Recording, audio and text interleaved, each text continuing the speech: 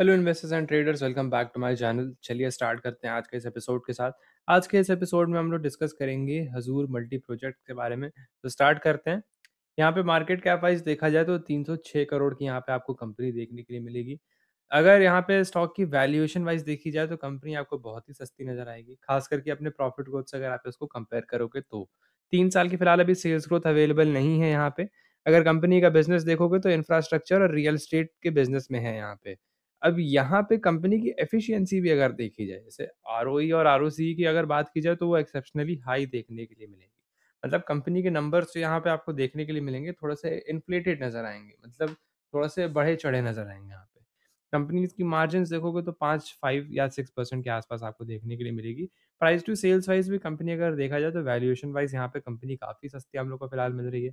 उसका एक रीज़न यहाँ पे ये है कि कंपनी की अर्निंग्स फ़िलहाल अभी अचानक से बहुत ज़्यादा बढ़ी हैं और कंपनी की सेल्स प्राइस अरे, सॉरी कंपनी की ट्रेडिंग प्राइस अभी भी सेम ही मतलब लेवल पे आपको देखने के लिए मिलेगी। यहाँ पे अर्निंग्स देखो लगातार बढ़ती चली जा रही है और कंपनी का अगर हम लोग प्राइस देखेंगे तो मोर और लेस उसी लेवल्स पे आपको देखने के लिए मिलेगी। अगर यहाँ पे पिछले कुछ सालों में अगर देखोगे तो। या कह सकते हैं कि जिस हिसाब से कंपनी की प्राइस यहाँ पे सॉरी अर्निंग्स बढ़ी है, उतनी तेज़ी से कंपनी की प्राइस यहाँ पे बढ़ते नज़र नहीं आई है। अभी थोड़ा बहुत रिसेंटली बढ़ते हम लोग को नज़र आई है यहाँ पे। अब नीचे आएँगे हम लोग शेयर होल्डिंग पैटर्न्स पे अगर नज़र डालते हैं, तो शेयर होल्डिंग पैटर्न्स पे प्रमोटर्स की होल्डिंग अभी बढ़ना स्टार्ट हुई है यहाँ पे। अब एफआईज़ की होल्डिंग भी देखोगे तो धीमे-धीमे बढ़ना यहाँ पे स्टार्ट हो रही है और पब्लिक की होल्डिंग यहाँ पे अब कम हो रही है। तो थोड़ा-सा मतलब पास्ट इसका हमें बहुत ज़्यादा आइडिया नहीं है इसके बारे में क्योंकि अभी हमने बहुत डिटेल में नहीं देखा है। लेकिन कंपनी फिर भी एक बार को हमें लगता है कि डिटेल में देखने लायक है कि अभी ऐसे कंपनी को क्या प्रोजेक्ट्स मिल रहे हैं कि कंपनी के मतलब अचानक से अर्निंग्स बहुत ज़्यादा तेज़ी से बढ़ रही हैं।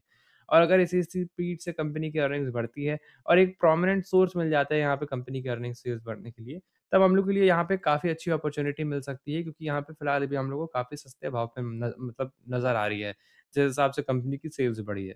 तो वो एक यहाँ पे पॉज़िटिव फैक्टर हो सकता है। बाइंग करने के लिए अगर यहाँ पे हम लोग देखें तो अभी फ़िलहाल अगर थोड़ा-सा एक कंपनी डिप लेती है तो हम लोग के लिए एक अच्छी अपॉर्च्युनिटी बन सकती है।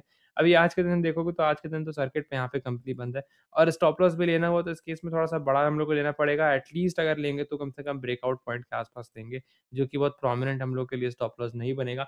तो बेटर बेटर बेटर सिनेरियो ये होगा कि कंपनी एक बार डिप लेके फिर ऊपर जाए तो हम लोग कहीं न कहीं स्टॉप लॉस लगा के स्विंग के नीचे वहाँ पे हम लोग एक अपना कह सकते हैं कि पोजीशन बना सकते हैं यहाँ पे। लेकिन उससे पहले आपके साथ हम एक बार शेयर को ज़रूर करेंगे यहाँ पे कि कंपनी के अंदर ऐसा क्या चेंजेस देखने के लिए मिल रहे हैं और क्या यहाँ पे जो सोर्स ऑफ़ यहाँ पे रेवेन्यू है और सोर्स ऑफ़ जो इनकम है वो आगे चल के मेंटेन्ड रह पाएगी कि नहीं।